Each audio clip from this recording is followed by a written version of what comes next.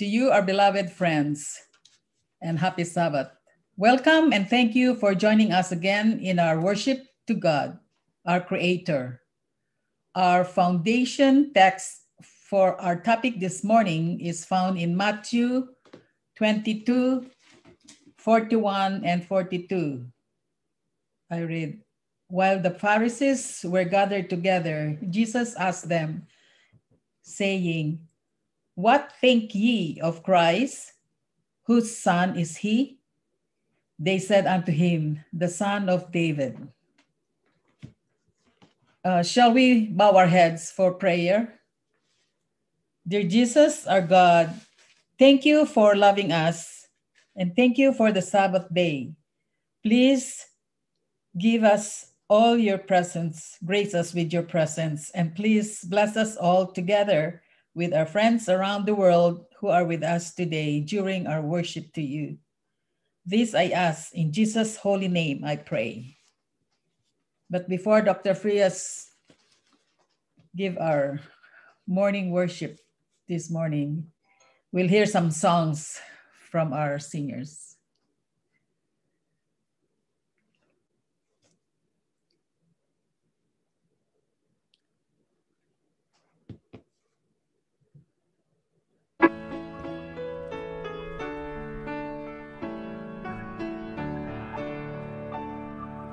Tell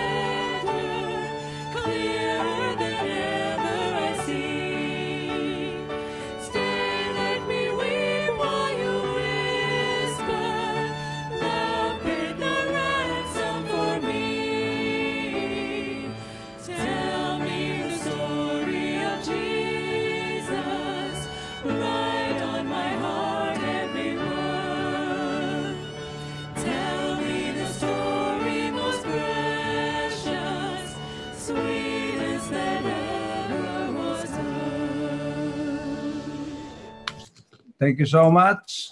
Thank you so much for that uh, wonderful song. Thank you. Uh, today we're going to talk about the story of Jesus. So uh, we're gonna prepare this now.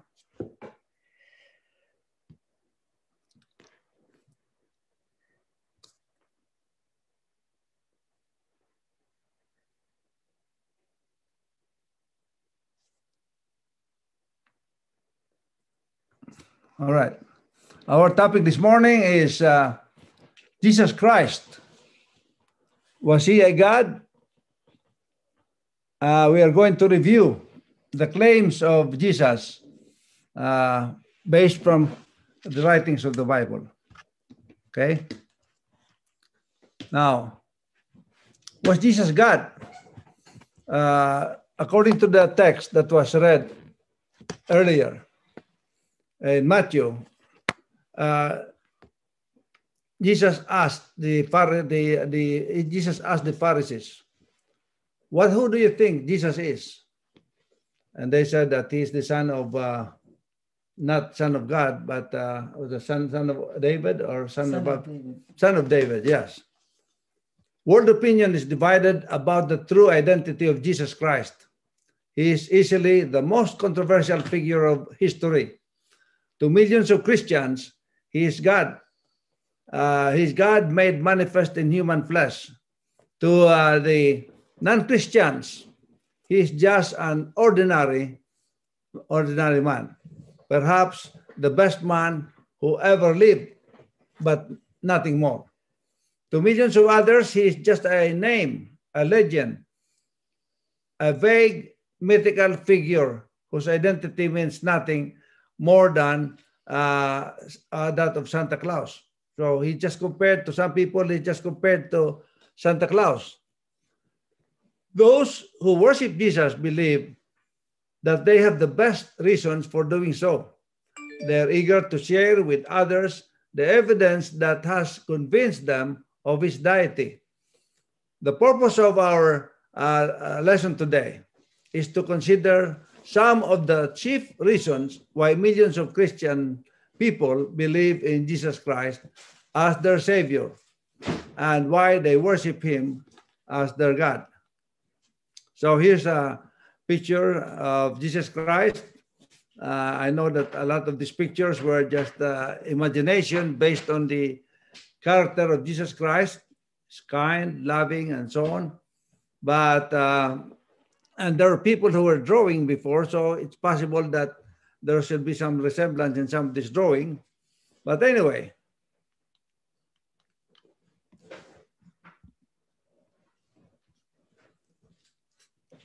the claims of Jesus Christ.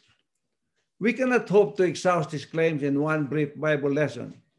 We will therefore select just a few examples. He claimed eternal pre-existence and quality with God. That's found in John 17:5. He claimed complete freedom from personal, uh, from his uh, be- uh, from his personal. That's found also in um, John 8:46. He claimed to be the only means of saving access to God. He claimed that we cannot have an access to God except through him. That's another claim of Jesus, John 14:6. Jesus also claimed power to forgive sins against God. That's in Matthew 2, 5 to 10. Jesus claimed power to foretell the future. John 14, 29. Jesus claimed power to conquer death and to raise the dead. That's found in John 11, 25. He also claimed uh, judge man and decide their eternal destinies in the last day. So these are the claims of Jesus. So Jesus made all those claims, and we're going to study uh, today about the uh, significant or validity of those claims. As we consider these claims, there are three questions that arise. If God were to come to earth today, what higher claims could he make? How much further could he go? What shall we do with these stupendous claims of Jesus Christ? There are only three ways in which we can classify Jesus in view of his claims. So, in view of his claims, we can classify uh, that he was utterly self deceived. If it is not true, he was utterly self deceived. Another one is that he was utterly dishonest. And the other consideration is that he is utterly truthful. This is by far the greatest dilemma, trilemma that ever confronted the human heart. How shall we solve this problem? That Jesus Christ again? The credentials of Jesus Christ. By the credentials, we mean proofs of genuineness, evidences of good faith. When Ulysses, the ancient Greek hero, returned home in disguise after many years of wandering, he proved his identity in an instant by a single feat of incomparable strength. You see, Ulysses was away for a while, and uh, when he returned, maybe people do not recognize him as uh, Ulysses. He might have grown a beard, like, uh, for example, some people did not recognize me when I grew my beard, uh, or uh, hair might be long, or whatever. So they they wouldn't believe that he was the he was uh, Ulysses. So in the presence of his rivals, he bent the uh, he bent the, uh, with ease his own great war bow because he had a war bow that he left, which uh, had lain idle during years of his absence, in which no one uh, was able to to draw it or no one was able to uh, to bend it because uh, Ulysses was much stronger than them. How does Jesus Christ prove his identity as God? By performing works that are uh, worthy of God's work, of incomparable strength, works that are obviously beyond the wisdom and power of man. So this is how Jesus Christ has identified himself by doing things that are beyond the power of man. See, this is a picture of uh, Ulysses when he tried to prove himself as uh, uh, to be, when he tried to prove to his friend that it was he, Ulysses, who was away for a while. He lived a sinless life. This is, we're not talking about Jesus. Jesus fulfilled scores of Old Testament prophecies. That's in Luke 24, 25 to 27. Jesus made predictions of his own, many of which have already been fulfilled. Matthew 24, 2. Jesus performed many miraculous works, even raising the dead. That Matthew 11, 2 to 5. Jesus rose from the dead himself. That is uh, something like there are many religious leaders uh, the, that also claim that they rose from the dead. But no human being was able to see them. While in Jesus' time, when he rose from the dead, there were many witnesses. Remember the disciples? Uh, the disciples, most of them except John, were uh, killed uh, in a very, uh, very crucial way. In a, in a, uh, they, they were, they were uh, killed not in an easy way, but in a very hard way. Some of them were beheaded, some of them were hung upside down, uh, placed in the uh, boiling oil and so on. But they did not, they because they were asked, they were uh, they were asked to confess that the resurrection of Jesus was not uh, true. Now, if it costs your life to be killed violently, uh, and and you know that you cannot uh, and you know that uh, uh, you don't want to tell a lie you don't want to tell a lie uh, or if it's not true wouldn't it be better to just tell a lie and say no it's not true so that you will be uh, so that you will be freed and you will not be, be killed anymore but those disciples did not they sacrificed their lives they were willing to die uh, just uh, in, in, instead of compromising the truth because they themselves knew that and they saw Jesus. Remember, Jesus even appeared to them uh, after he re resurrected from death. So uh, some uh, religious leaders they claim uh, that they have they resurrected, but no one saw them. They just say resurrected in spirit. Maybe uh, uh, show them some signs or feelings or whatever, but inspiration. But, you know, there, there, are two sources of inspiration. It could be inspiration from God, it could be inspiration from the devil. So, you know, who knows? But Jesus Christ himself showed himself to be able to uh, have power over that. And he also has broken the, clay, the chains of sinful habit in countless uh, millions of lives. You see, you will find that when Jesus, uh, when people believe in Jesus, I have experienced this myself in my going to the Philippines and other places uh, and preaching about God. Whenever somebody uh, accept Jesus Christ, his life is changed. For example, one time we were in the Philippines, and after the uh, crusade, after that seminar, a family of, of, I think about almost 10 because they had so many children, uh, came to me and said, uh, Dr. Frias, do you remember us? I could not uh, remember very well, so I just said, yeah, yeah, how are you?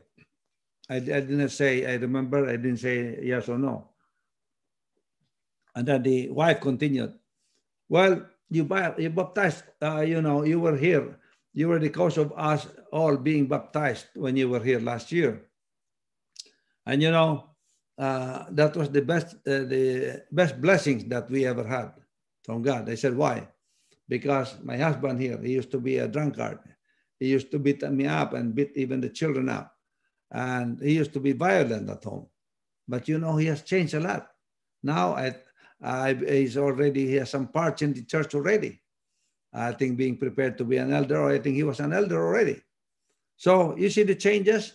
That's what happened. There's a, uh, uh, miraculous change that happens in people's lives when they believe, when they accept Jesus to be their loving Savior and God. He, uh, Jesus allowed himself to be addressed as God and accepted worship which belongs only to God. See, in the Bible it says blasphemy. If somebody uh, calls himself a God, it's, it's like a blasphemy to God. As we examine these credentials of Jesus, three further questions arise. What better credentials could he offer? If God were to come and dwell among men today, can you please turn off that? Uh, if God were to come and dwell among men today, could he give more conclusive uh, proof of his deity?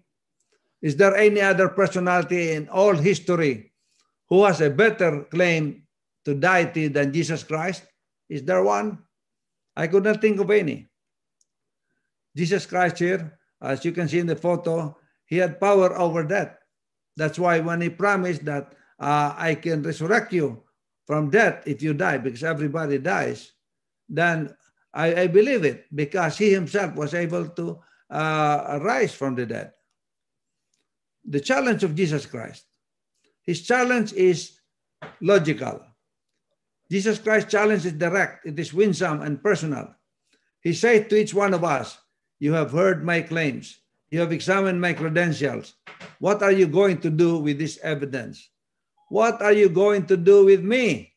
That is the biggest the question that is asking.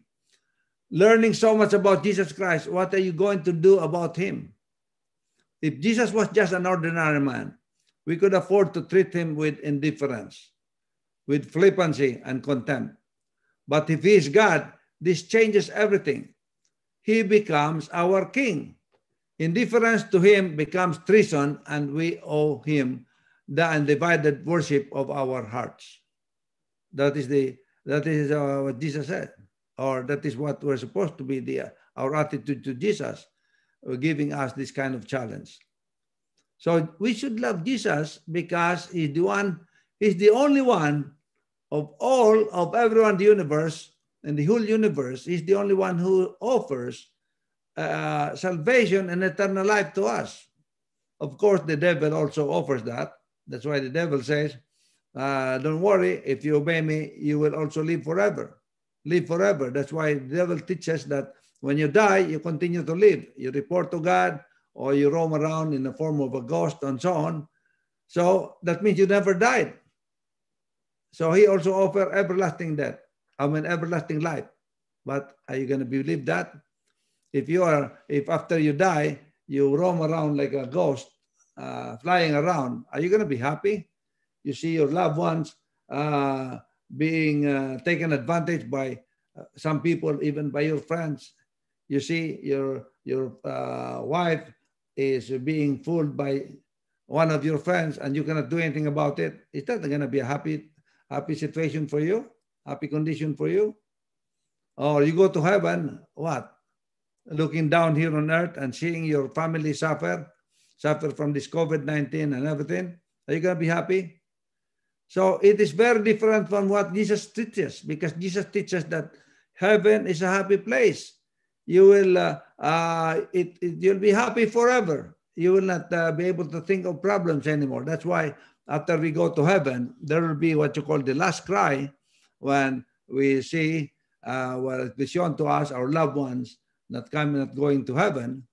Then that will be our last cry. But after that, Jesus will erase from our memories all the things of the past. That's why we can only be happy forever.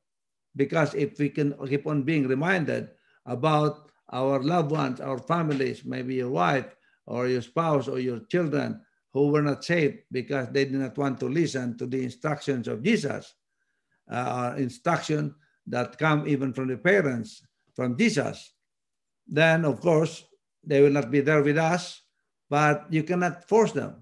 You cannot force them. They, they have to make the decision themselves. But if that stays in your memory, if you're there ahead of everyone else and you're roaming around and you're seeing that happen, are you going to be happy? Heaven is not going to be a happy place. It's contradictory to what Jesus says. So Jesus says, Come to me and I will give you life. What then shall I do with Jesus, which is called Christ? Our eternal destiny depends upon the answer we give to this question. Pilate, the Roman governor, wrestled with it in days of old, and it, it challenges every man who comes free, uh, who comes face to face with Jesus Christ today. Only two courses are open to us. We can accept Jesus or we can reject him. We can crucify him afresh or we can crown him as the undisputed master of our lives. There is no middle ground. In Romans 10 9, it says, If thou shalt confess with thy mouth Jesus as Lord, and shalt believe in thine heart that God hath raised them from the dead, thou shalt be saved. Of course, it says here, if you confess Jesus, if you believe that he is alive, if you believe that he is our Savior, you confess it to the other people. And when you confess it and believe also, uh, belief is also a, a, a thing that must show in our lives. If you say you believe in Jesus, even our action should also be according to the teachings of Jesus. Because if you say, I believe in Jesus, but then your actions are different from his command. Uh, for example, Jesus said, uh, You believe me? Yes, I believe you. Okay. Uh, tomorrow is going to be the Sabbath day, seven day, Saturday, Sabbath. And we're supposed to go to church. And Sabbath, he said, you, You're supposed to be in church. And, and you say, Lord, you know, my day is tomorrow or on Monday or Tuesday, Wednesday, and so on. Then your belief is questionable. That's why, but if you believe with him sincerely and obey his will and uh, tell the world about it according to the Bible, you will be saved. Now here, only Jesus can give solution to all the problems of the world. And we need his solution right now. For example, these problems going on right now, this COVID-19, uh, it makes us, a lot of people wary. We are suffering anxiety and so on because everything that is happening nowadays is contrary to what Jesus taught. Jesus teaches in the Bible that we have to we have to love one another. We have to get together. We have to fellowship with one another in love and to encourage each other. That's why our prayer should be for Jesus to come soon to intervene in this situation. So uh, if not, uh, maybe inter intervene in this situation right now. We should pray for that so that we can go back to fellowshipping with each other again and uh, worship Him, even in churches, and we can all encourage each other to prepare for His coming. This is why people who believe in Jesus, especially His followers or His children, they are all looking forward to the coming of Jesus again, as He promised in the Bible. in order for Jesus to give them complete deliverance from all the sufferings in this world. So, my question to you, my friends, are Are you also looking forward to Jesus coming? Are you also ready to meet him? That is the question that you have to try to answer yourself. Answer it sincerely. Now, I know, let me just review uh, things that I've, I've uh, mentioned about Jesus, which I also shared uh, some of them last week. For example, here's, here's a former president of the United States. I'm sure most of you, if not all of you, know about him. That's Abraham Lincoln. Let me ask you, supposing an authentic 1,000 year old prophecy was found containing intimate details of the life of this famous American president, imagine the new reports of this discovery reading like this. The Smithsonian uh, institution announces that an ancient scroll has been kept in remarkably good state of preservation. After the most rigorous scientific testing, Smithsonian archaeologists are, have agreed that the scroll is from the Viking period and contains an authentic prophecy of the life and labors of Abraham Lincoln. What do you think will happen? What a gasp of astonishment would echo around the world.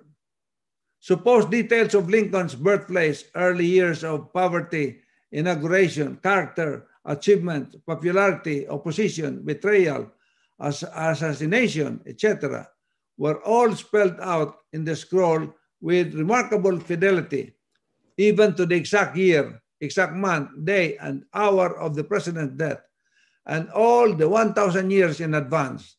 What do you think will happen? This news, of course, is fiction.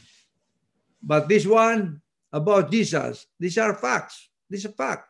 The claims of Jesus Christ are supported by just such a series of predictions as we have uh, described. The Old Testament writings of, all, of them all, uh, completed hundreds of years before Jesus' birth, contain over 300 prophecies of Jesus Christ, amounting to a remarkable detailed biography of the man of Nazareth written centuries in advance. See, a lot of predictions about Jesus Christ were written 150 years before he, he was born in Bethlehem. This cumulative prophetic witness has been called the assembly line of Old Testament prophecy. Like an automobile in the making built up piece by piece as it passes slowly through the production plant.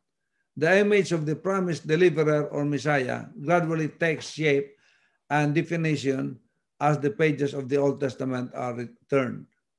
Described by one prominent scholar as the overmastering phenomenon of Bible prophecy, this combined prophetic testimony provides Jesus Christ with unique credential.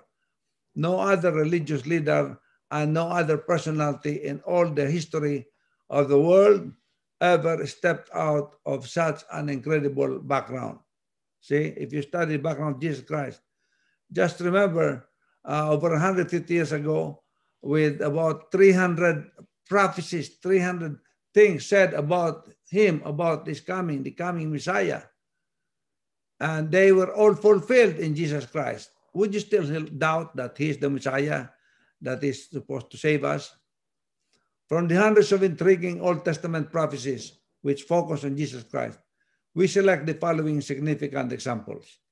For example, there are many uh, spoken prophecy found in Genesis, for example, the promise, the seed of the woman who would bruise the serpent's head. That is also, that's a prophecy about Jesus. Another spoken prophecy, the coming of Shiloh, the peace bringer. That is a prophecy about Jesus. He came to this world to bring peace. He looked for the sinners to come them down to uh, tell them to get away from sin so that they live in peace because sinners are not living in peace. In Numbers, he also there's a prophecy about the coming of the star of Jacob, and it is about him. In Deuteronomy 18, 18 and 19, the coming of the prophet like unto Moses, that is about Jesus. In Micah 5 2, a prophet who will be born in Bethlehem, identified as his birthplace, That was only fulfilled in Jesus. And that was predicted about 100, 150 years before it happened. And there was probably no place yet named Bethlehem at that time, but it was already named. In Isaiah 7 uh, 14, he was born of a virgin to be called Emmanuel, meaning God with us. And that is what happened to Jesus. Born in uh, with an, a born of a virgin and was called Emmanuel. In Isaiah is the Prince of Peace, the mighty God. Another the text in Isaiah, the preaching and healing ministry of Jesus Christ, of this coming Messiah. And, and it happened to Jesus. And also, because when that was written, it was just a, a prophecy. Jesus was not here yet. In Isaiah again, the sufferings and death of this Messiah, Jesus Christ, they were all already written before they happened. The birth of Jesus Christ and so on. Look at, just examine all these prophecies about the coming Messiah before they even came. Prophesied to come out of Bethlehem, prophesied to be priced for 30 pieces of silver, according to the Old Testament Zechariah. God, the Word, who was made flesh, it was Him. It was the Word, and the beginning was the Word. The Word was in God, and the Word was God. It was He Himself who became flesh, the Word, in the beginning. He was conceived by the Holy Ghost to save people from their sin. We know that story.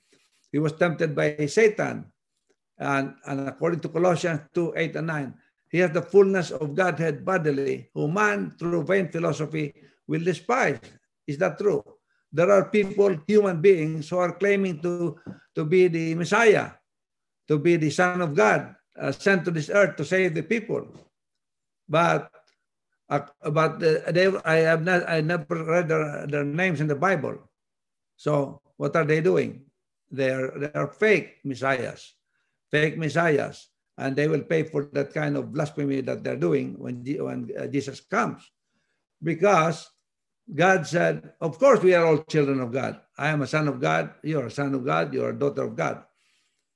But God only has one begotten son. That is only Jesus Christ. If I adopt maybe 100 children, but I have one son and I have adopt another 99, all those 99 are going to be my children. But my son, my only begotten son, is only one. So we cannot uh, fake it by saying that we are the uh, real Son of God, the Messiah, uh, sent by God to save people from this earth, because that is that is deception and that is fake and that is blasphemy. And according to Hebrews, but many people will do that because it was already prophesied. Hebrews 1 1 says, Is God's Son, whose throne is in heaven. This person might be saying that he's the Son of God, but, and he, he could also say that I have a throne in heaven. That's true. Of course, he can also say that. But if you cannot verify anything in the Bible, uh, the Bible says uh, in Galatians 1 8, if an angel comes to you and tell you something, oh, uh, Noel, this is the Son of God, this person here, your neighbor there. And then where in the Bible does it say that my neighbor is the Son of God? If it doesn't say there, you have to drive that angel away. Tell him you're not an angel from God. You go away, you're an angel of Satan. And uh, you better, if you don't leave right now, I'm going to call Jesus to kick you out. Hebrews, God's, uh, and, and John, uh, 1 John 5 5, he's a true God, according to Romans. True God, that means he's not a fake God. Acts 4 7 to 12. There is no salvation without Jesus Christ. Even during the time of Enoch, seven generations from Adam, he, Enoch already prophesied about this coming Messiah, about Jesus Christ, who's going to come uh, to return with the righteous people to be with him for eternity. He's going to come with uh, together with thousands of his saints. Compare all the prophecies of Jesus in the Old Testament and see if they were fulfilled. In the Old Testament, it says that he will be born in Bethlehem. In the New Testament, where was he born? In Bethlehem. In the Old Testament, born of a virgin, according to Isaiah. In the New Testament, he was born of a virgin. He will become from the line of David. New Testament, he came from the line of David. He will be murdered by Herod, uh, uh, attempted to be murdered by Herod. In the New Testament, it was happen, it happened. He will be betrayed by a friend. It was his friend who tried to betray him in the New Testament. He will be sold for 30 pieces of silver. He was sold for 30 pieces of silver, crucified, to be crucified, New Testament. So all of this, uh, lots will be cast for his clothes. According to Psalms, the Old Testament, in Matthew, his clothes, uh, there were lots clo- cast for his clothes. And even today, part of his clothes were still being sold, but I didn't believe that it's part of the clothes of Jesus. We were in Mexico one time in a church, and they were selling a piece of cloth like that. And they said, this, this is uh, part of the cloth of Jesus. Wow, I said, how can they, how can still, how can this, first of all, how did it reach here in Mexico? And how can be a part? And yet many people, probably they do not read about Jesus, they do not read the Bible. Many people bought it. And they were so happy that they had a part of the clothes of Jesus or even the shroud of Jesus. Uh, crucified, according to the Old Testament and New Testament, he was crucified, large cost, okay. He will be buried in a rich man's tomb. That happened also. Uh, the year, date, and hour of his death, it was also mentioned in the Bible, and raised in the third day. See, how can you doubt who else was able, uh, had been predicted with so many different, about uh, 300 different predictions and prophecies, and all fulfilled uh, in the person. And even, you can even trace the genealogy of Jesus. You can see at the end there, Jesus. You can, uh, you can verify from Mary, the parents of Mary, the parents all the way. It goes back to David, goes back to Abraham, and then to Adam, and Adam came from God, to Noah, and so on. And of course, uh, and uh, if, even if Jesus did not really become the real father of uh, Jesus, I mean Joseph, still you can also trace him because he was the assigned father of Jesus. You can also trace him all the way back to Adam and to God. There are also there were also acted prophecies in the Bible. Acted prophecies, for example, the mystic Jacob's ladder, the Passover lamb, the brazen serpent, the smitten rock, and in Leviticus, the whole sacrificial service of the ancient Hebrew sanctuary, uh, which dramatized the prophecy of uh, Christ's uh, sacrificial death. Here, uh, a photo of the uh, mystic ladder. This is a dream of Joseph, Joseph, a dream of Jacob, I'm sorry, Jacob's ladder. So they were all, all these prophecies were pointing to the Messiah, to Jesus Christ, uh, connecting us to heaven. And also the Passover, uh, those who sprinkled blood on the doors were spared from the angel of death during the 10 plagues in, Is- in Egypt. That is pointing to Jesus Christ also, because uh, in order to be washed from our sins, we need to be washed by the blood of Jesus that will spare us from eternal death. Christ, our Passover lamb. The Exodus is the story of Israel's salvation. The Exodus is also a foreshadow of the salvation of God offers to everyone who trusts in Christ. The Passover was a time of remembrance as well as a time of celebration of deliverance. The Passover points to Jesus Christ. And here, the brazen serpent, uh, it's symbolized by the brazen serpent. Those who look at the serpent, they were saved from dying. When remember the story of uh, the Israelites, when they were all complaining and complaining, and uh, God sent uh, a lot of serpents, and uh, uh, those who look at the serpent, they were spared, but those who did not, they all died. And then this uh, smitten rock, and rock represented Jesus here. It's the source of water. And uh, Jesus said, if you drink my water, you will never thirst. Of course, yeah.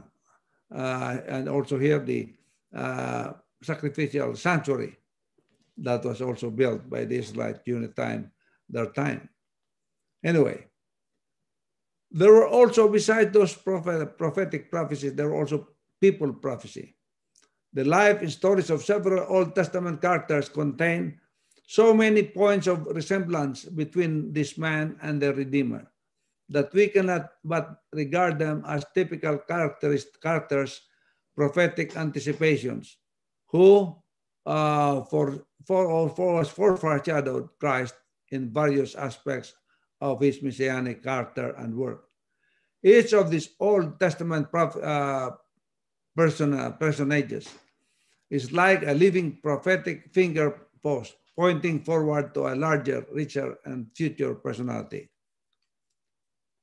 What are these uh, people prophecy? For example, Melchizedek, the function of a king and priest, or the people prophecy about Joseph, you know, the uh, so uh, Jesus Christ is our king and also our priest here, represent the or represent us uh, to God the Father, and also Joseph. The parallel between Joseph and Jesus Christ are almost breathtaking. You know, Joseph, he was abandoned by his own people, by his own brothers, sold, and so on. But in spite of what they did to him, uh, Joseph, uh, when he was in Egypt, he became the governor of Egypt. And what did he do?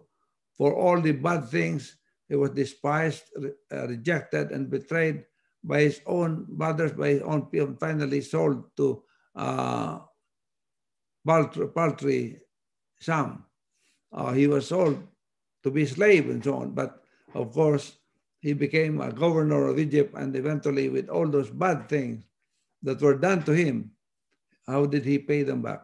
He did not uh, reward them with uh, revenge, but he took care of them during the famine. He took all those people who treated him badly, he took them back and helped them during time of famine. The story of Moses, for example, condemned to death uh, in, uh, uh, in infancy, yet miraculously spared, becomes God's instrument of deliverance from Egyptian bondage. That also point to Jesus Christ. Remember, Jesus Christ, uh, at the young age, he was attempted to be murdered by Herod, but he was also spared the angels. And what the purpose of Jesus was to deliver his people. He's going to deliver us from um, this uh, sinful world. And Boaz, the kinsman redeemer, and also Jonah, sacrificed for the salvation of the ship's crew. So all of these people prophecy, review them. Here is Abraham about to sacrifice his son, uh, his beloved son, Isaac. And God himself sacrificed his son, Jesus, and allowed him to die. But here in this case, uh, God did not allow Isaac to die. And here, the Melchizedek, the function of king and priest. That is the function of Jesus. He is also our king and also our priest.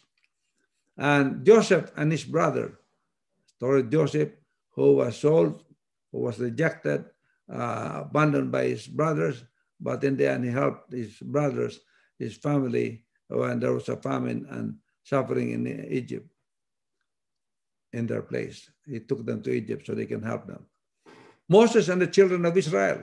See, Moses, who was attempted to be uh, murdered at a young age, at a as a baby, God spared him in order to deliver his people.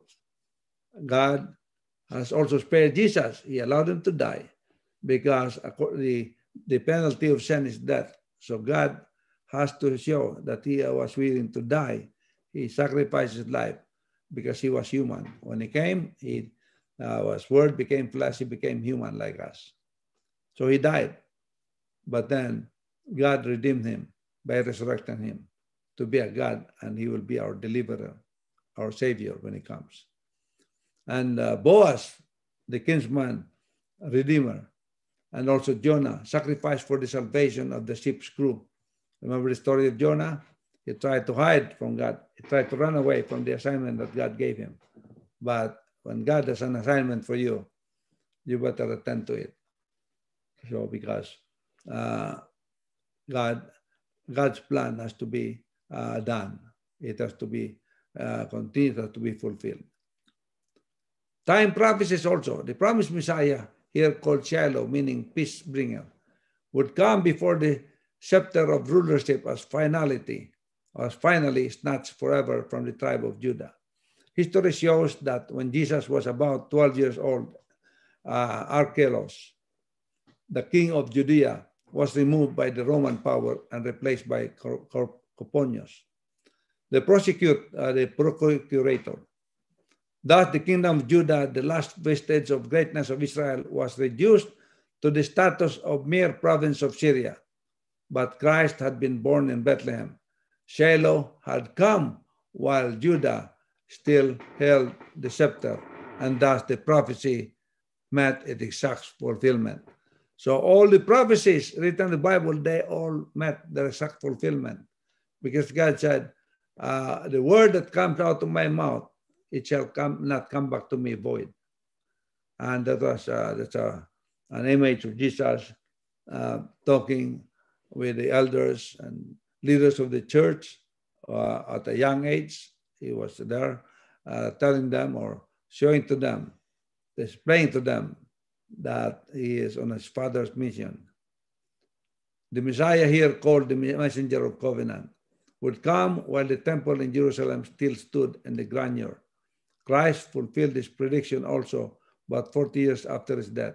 The Roman soldiers under, the, under Titus destroyed the magnificent temple and leaving one stone upon another, not leaving one stone upon another.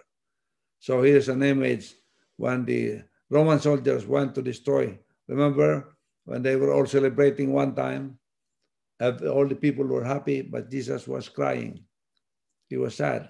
When they asked him why he was sad, because he said, You're celebrating this, but let me tell you that uh, time will come when soldiers will come and destroy this temple. And when this temple is destroyed, there you will not see even one stone on top of another. And according to the writer Josephus, he said, when that happened, you will see that the whole place was really flattened. Not one stone was uh, sitting on top of another stone. So Daniel 9, 24, 27, the most amazing and explicit of all time prophecies of the Old Testament is that of the 70 prophetic weeks, symbolizing 490 literal years, which were to reach from the Persian restoration of the Jewish nation to the appearance of the death of the Messiah, the Prince. When this prophecy and annual Passover ritual are studied together, it will be seen that the precise year, month, day, and hour of Christ's death were signified beforehand, hundreds of years in advance. The 70 weeks prediction is the keystone of the arc of the messianic prophecy.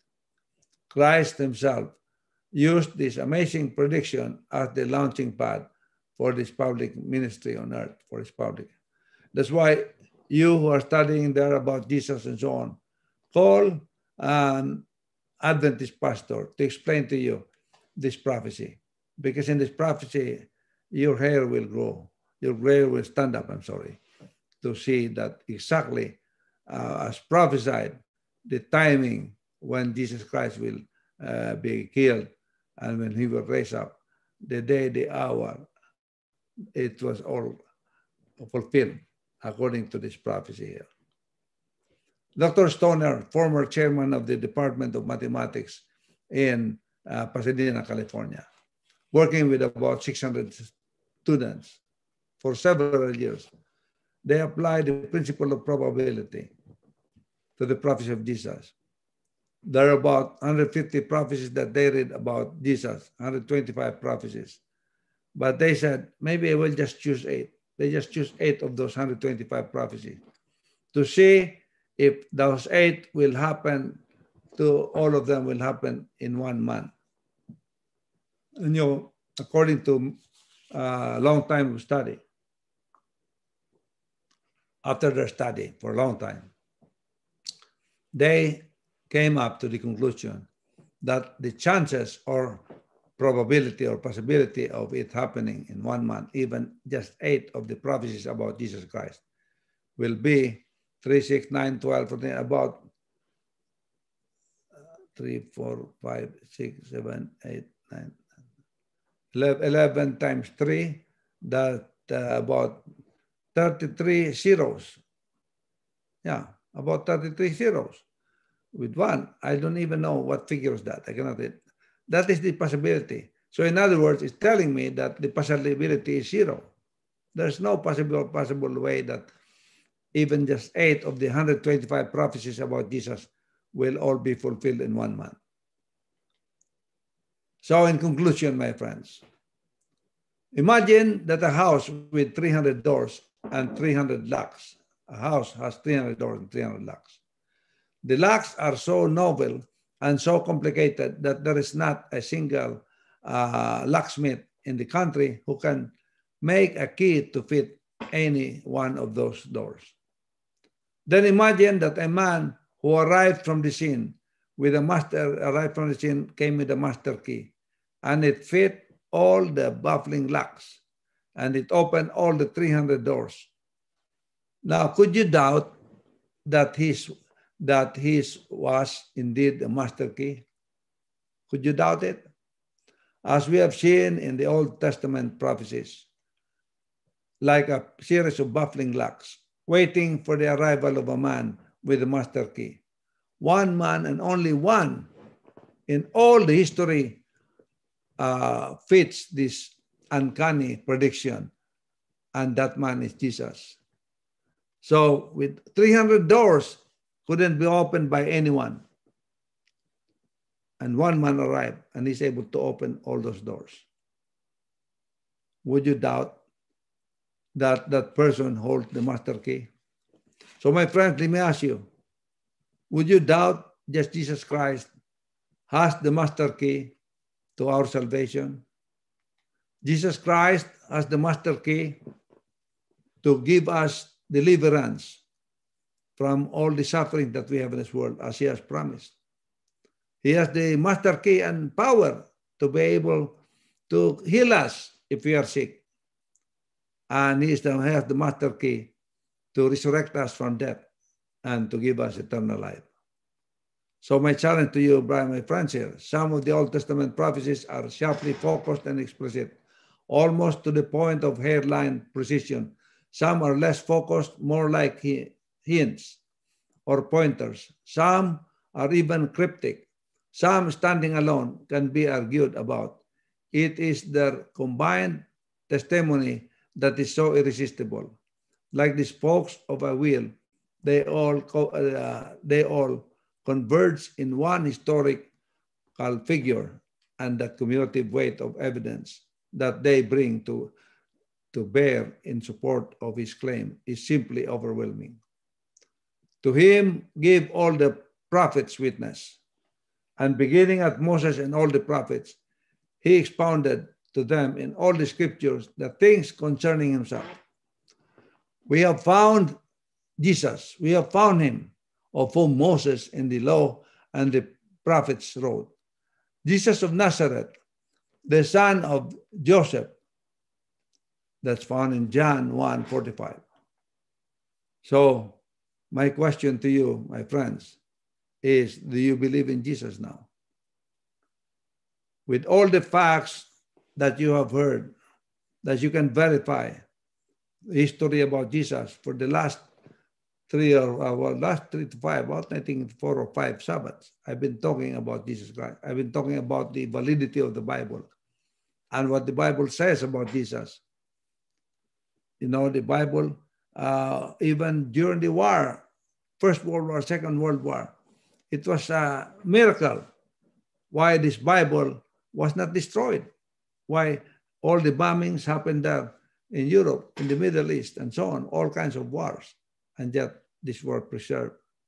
And we have seen it in the museum in Jerusalem, the, even the, uh, the old uh, writings of the Bible, when they were transferred from stones to, I don't know, maybe different eras to the uh, skins of animals, probably. We didn't know the process of, and then eventually to the old type of paper, but they still have their old uh, remains of the original writings of the Bible found in the caves near the Dead Sea.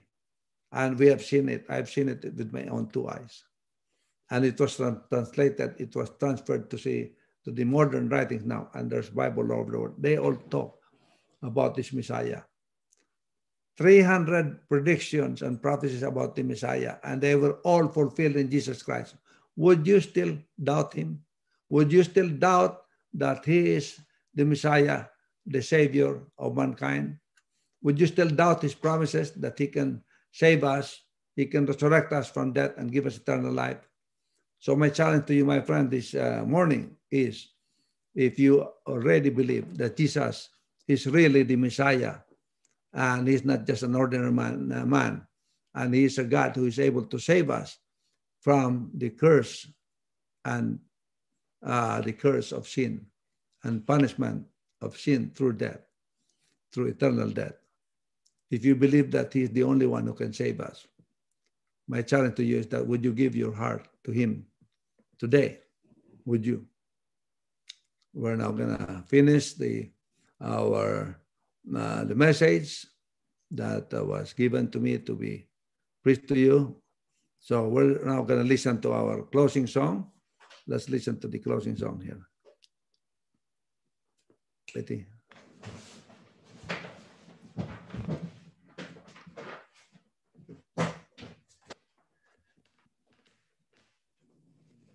Are we going to transfer it? No.